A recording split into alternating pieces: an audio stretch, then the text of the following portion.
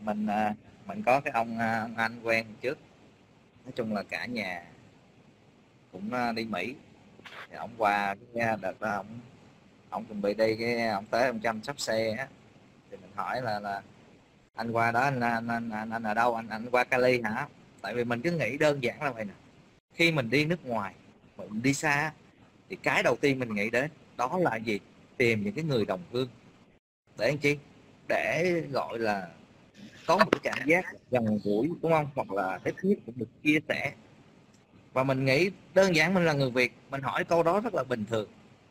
Đó. Mình hỏi anh qua Cali hả? Tại vì mình nghĩ Cali là cái, cái nơi tập trung đông người Việt đông nhất. Thì ông nói một câu mà mình nhớ mình nhớ tới giờ. Ông nói anh không qua Cali.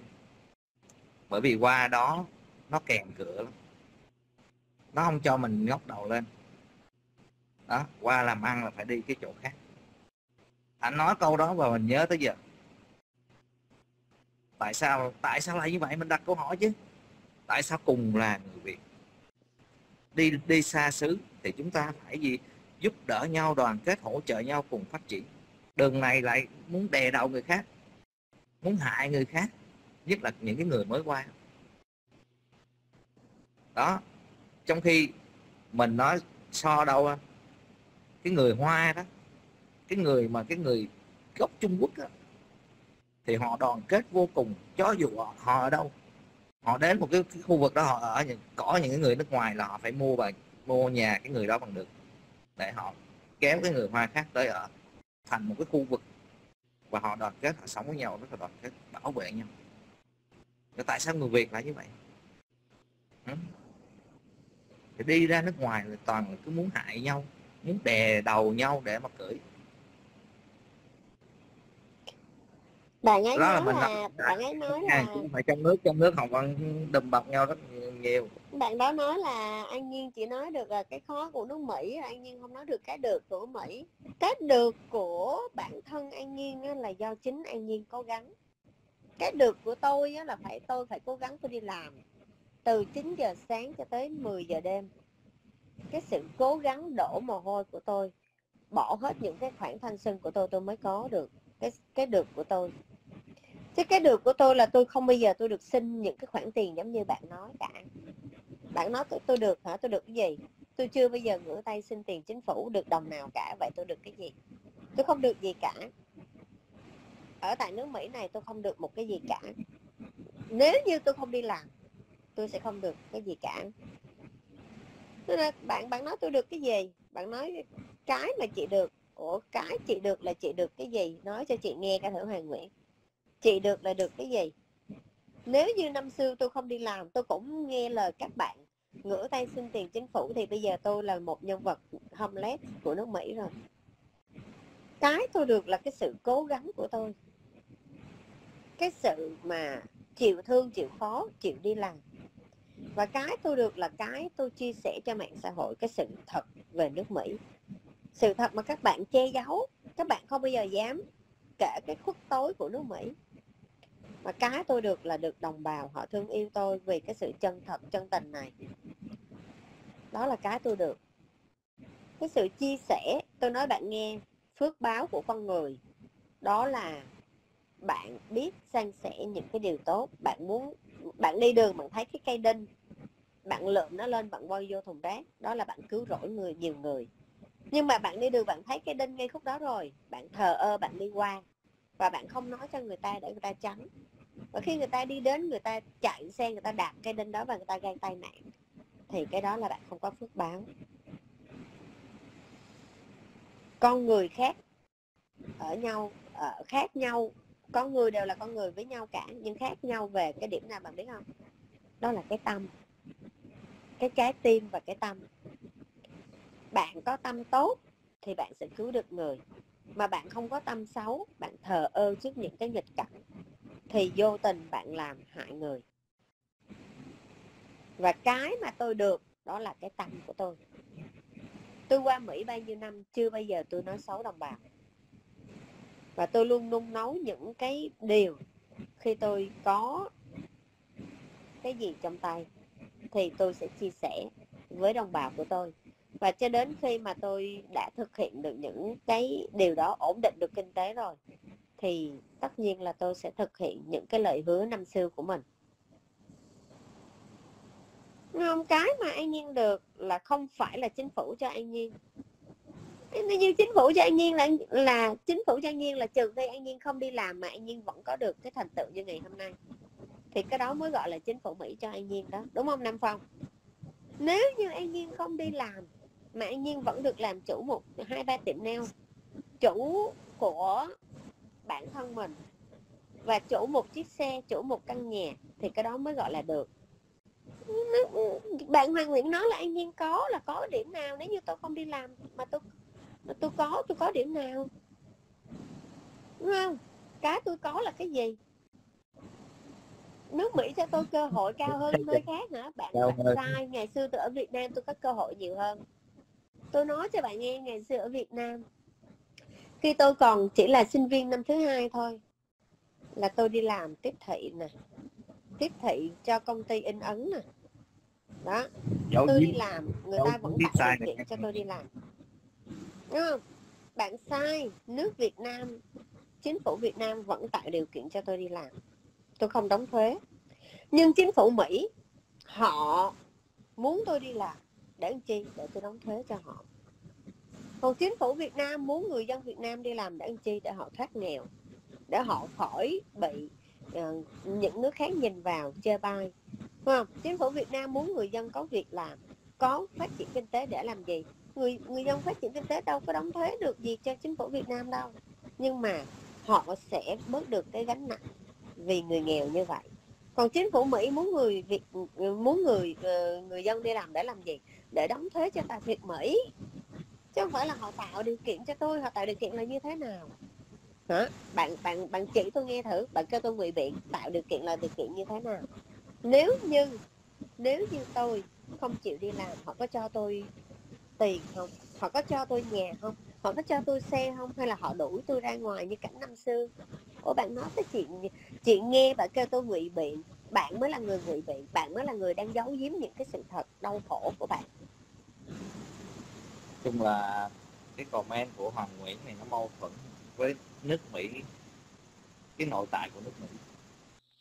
Nếu mà nước Mỹ cho người dân Mỹ cơ hội cao hơn các nước khác,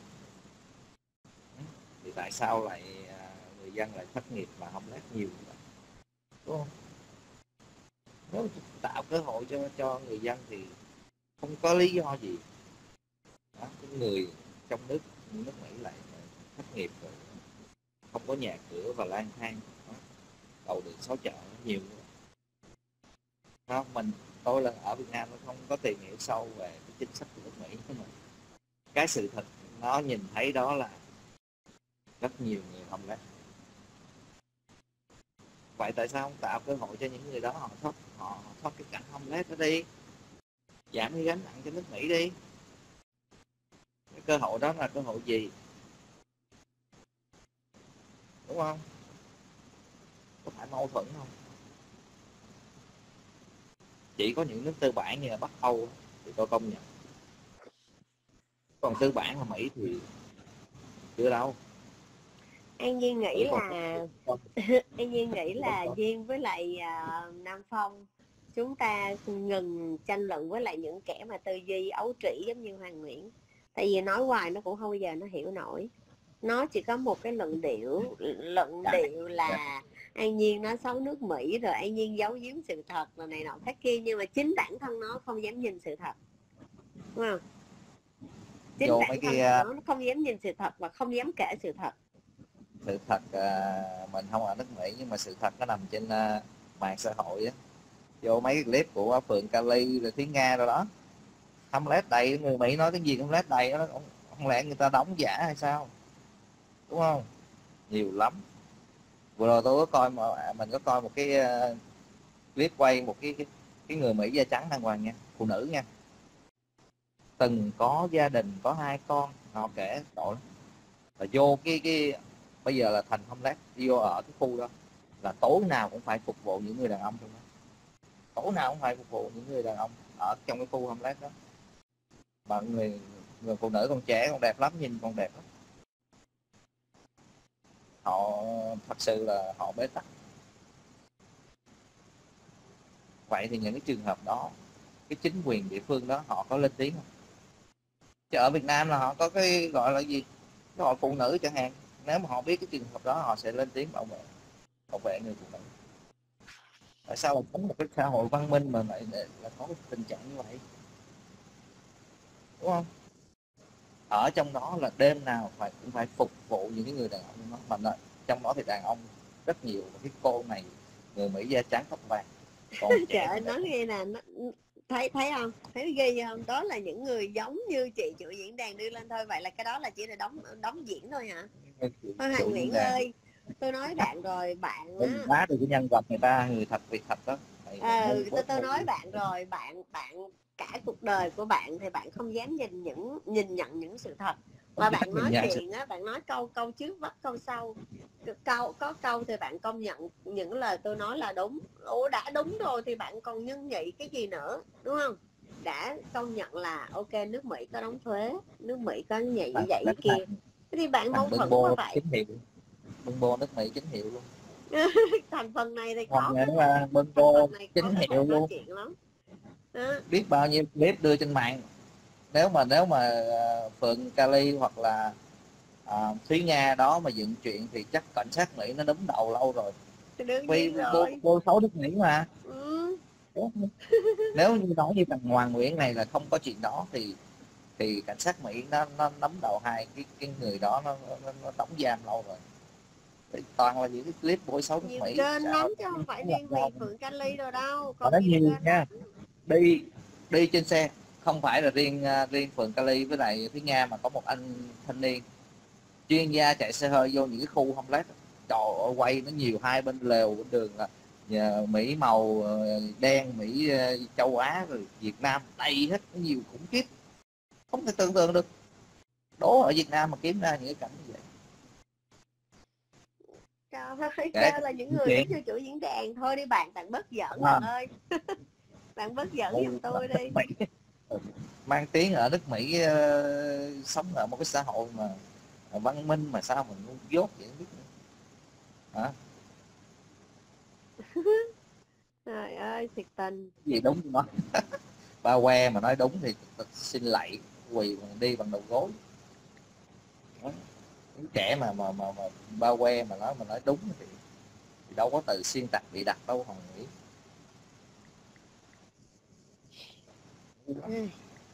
dành thời gian để ta đi tới những cái điểm đó đi đi đi, đi tận mắt chứng kiến đi. À, hoặc là bây giờ có tiền mới giúp người ta đi. Nè chị chỉ cho bạn Hoàng Nguyễn Nguyễn này vô trong này á.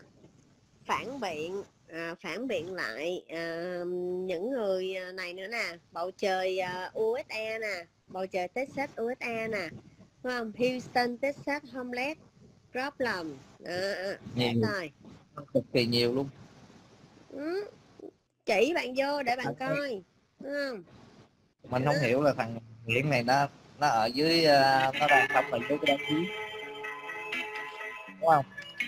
Còn Nguyễn nó đang sống ở dưới đá chiến đây đã chỉ nè chỉ vô trong cái website này coi nè ha anh nhiên chỉ cho coi nè.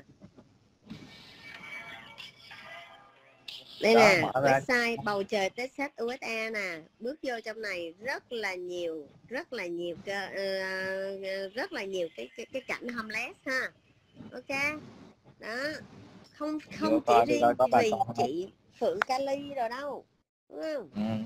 Phi Nga Phi Nga rồi đó chia sẻ ầm nhiều lắm. Ừ. cái này là không phải nói xấu mà là người ta nói sự thật. Ok người ta nói sự thật người ta đem một sự việc người ta so sánh với một sự việc. Phải hiểu cái điều đó đi học lại đi. Ok hoàng nguyễn bạn đi học lại đi và tôi sẽ dừng tranh luận với bạn ngày hôm nay. Ha tranh luận với nó đến đến ngày mai cũng không có ai dạy đâu học à nhiên mình với có ai dạy đâu học rồi ok bên bên rộng lớn đó, còn nó thì nhìn cái bầu trời bằng cái thúng. Rồi bên an nhiên cũng một giờ rồi. Ok nam phong. Bye bye. Ừ. sáng này hả? À, một giờ một giờ khuya sáng rồi. Bây giờ nhiên phải đi ngủ đây mai còn phải rồi. đi uh, đi kiểm à, tra sức khỏe nữa. Ok chúc nam phong một ngày làm việc vui vẻ nha. hả? Đến nay có về Việt Nam không? Đấy. chưa biết nữa. Chưa biết nữa. Ừ. về rủ bố tâm về ok ngủ với mẹ kìa thời gian hoàng nó đuổi rồi kìa. Rồi chúc Ok, ờ, sức khỏe chúc nha. chị em ở Việt Nam một ngày làm việc vui vẻ nha. Chúc các bạn ờ, Dạ, ở bên vâng. Mỹ ờ, ờ, ngủ ngon luôn nha để mai đi cày nha. Ờ, cảm ơn Nam Phong Dạ, chia sẻ. Ok Bye bye cả bye. nhà. Bye. Bye.